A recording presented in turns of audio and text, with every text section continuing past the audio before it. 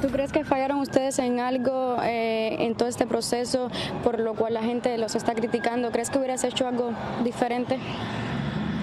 No, yo lo que hice fue la voluntad de mi papá y la voluntad de mi mamá. ¿Piensan eh, depositar las cenizas de tu padre en algún lugar o piensan quedarse con ellas en la casa? Eso es lo que estamos tratando de ver ahorita. Obviamente queremos un lugar específico, pero estoy dejando que mi mamá decida exactamente dónde.